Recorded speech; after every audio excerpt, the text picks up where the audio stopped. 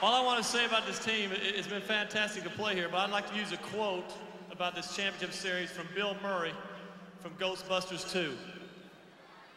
We came, we saw, we kicked their ass.